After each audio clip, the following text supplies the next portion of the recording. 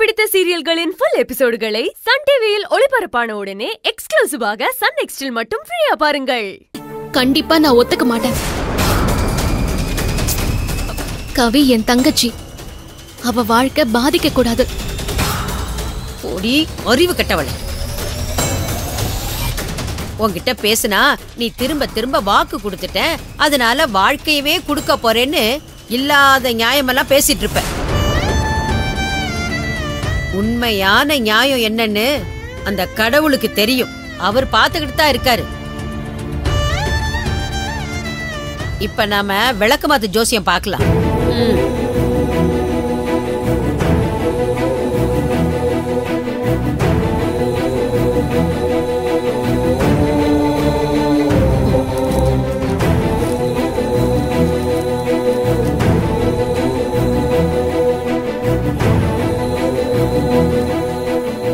இங்க பாரு. ரெட்ட வந்தா ஆண் குழந்தை ஒத்த வந்தா பெண் குழந்தை.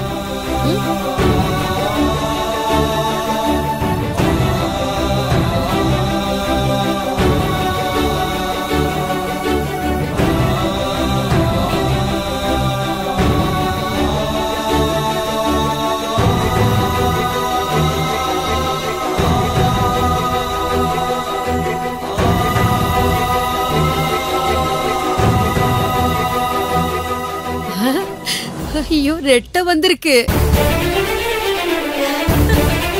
உனக்கு பிறக்க போறது ஆண் குழந்தை தான்.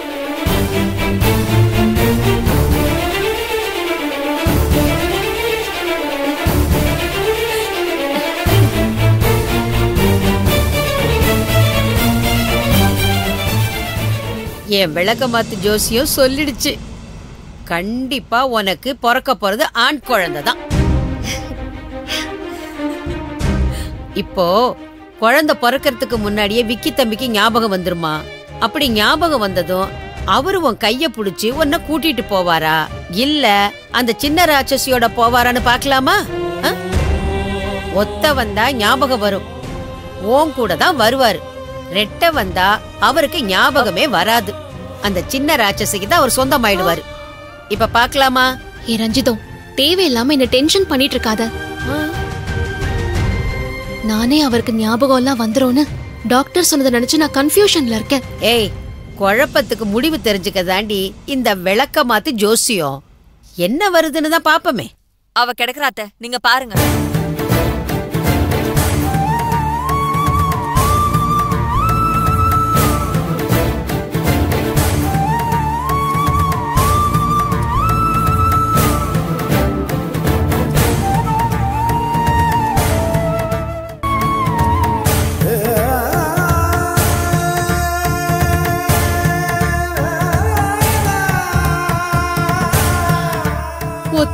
வந்துருச்சு.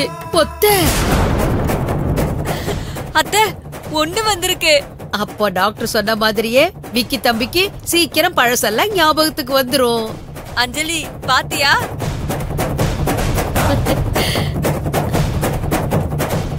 என்னடி உன் முகத்துல சந்தோஷத்தையே காணும்?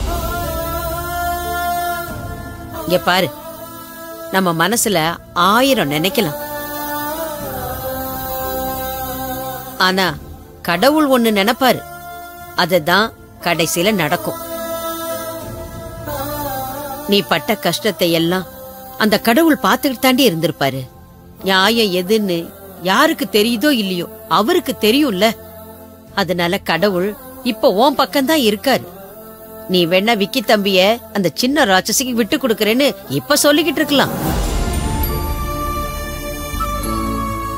ஆனா விக்கி தம்பிக்கு எல்லாம் ஞாபகத்துக்கு வந்துட்டா? அவரு உன்னை தேடி வந்து உன் கூட தான் வாழ்வேன்னு சொல்லுவாரு.